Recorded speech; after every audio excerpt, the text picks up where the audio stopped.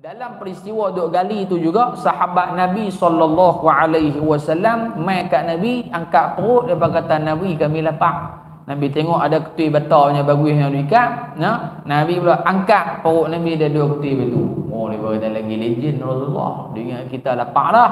Akhirnya dimaklumkan kepada Jabir bin Abdullah radhiyallahu anhu, Jabir balik pergi tahu kat bini dia.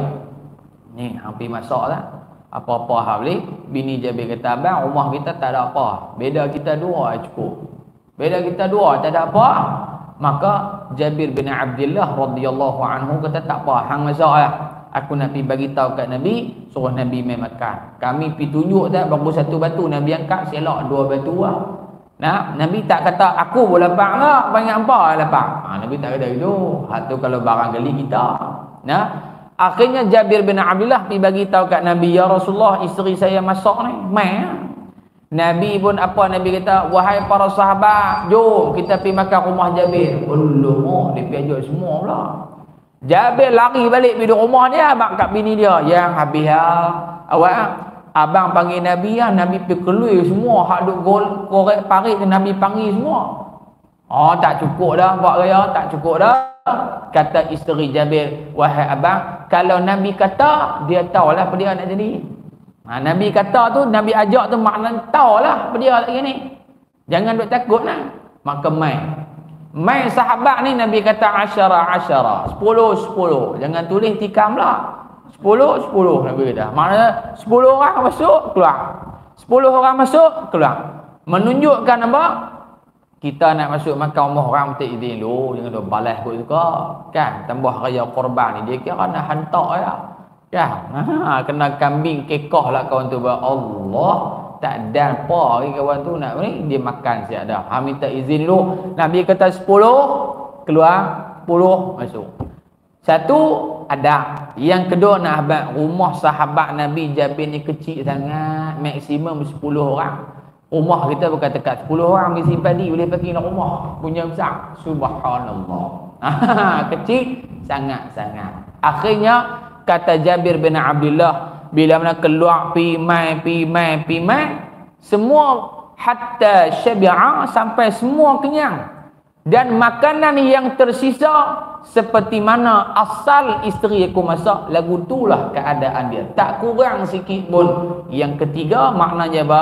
Antara mukjizat Nabi iktharul qalil yang sikit boleh jadi ba boleh jadi banyak berkat mukjizat Rasulullah. Tapi kita jangan duk gagah duk buat macam ada mukjizat ni kenuri kahwin ni dia kata tak apa kita sembelih ayam dah ha. Apa ekor tiga ekor.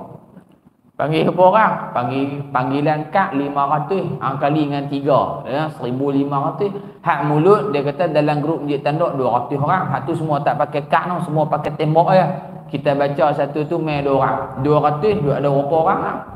Kan? Ah, kelepiak pi kelepiak mai tengok pukul tiga pagi nanti masuk dalam warta berita TV3.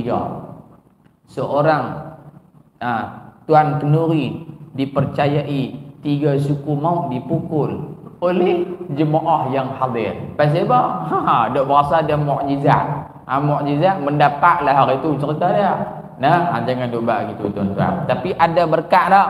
Ada berkat. Ha, jangan duk buat gitu. Pergi jumpa Ramli Catering. Dia tanya, nak berapa orang panggilan ni? Ha, panggilan seribu. Ha, seribu noh. Hmm, Okey tu. Nak ambil hak kepala apa? Dia, dia kata hak paling murah pun kepala lima belah. Contoh, kepala lima belah. Tu kalau seribu kena buat seribu lima ratus lah. Untuk seribu lima ratus. Lebih lima ratus. Hai, dia kata tak apa, tak apa. Kita buat untuk sepuluh orang. Kita buat untuk 10 orang ya. Maksudnya 150 hai saya. Hai dia kata cukup ke?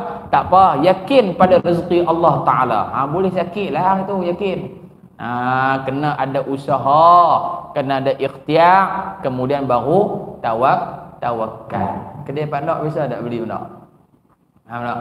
Negosiasi ayam, buah ayam tekok ya. Tak apa, tak kita kerak ni ayam ni tambah niri dia. Dia kemes niri dia. Ha, tak tahu buat dia pelik itu. ha ni hanya pada Nabi Muhammad sallallahu alaihi wasallam. Adapun pada kita makanan tu tetap habis nah. Makanan hak kita makan tu tetap habis. Jangan duk anggap tak apa, tak habis. Makan, makan, makan, makan. Tinggal talam saja. Nah, ha, berkat itu ada dan akan rasa cu cukup dan kenyang insya insya Allah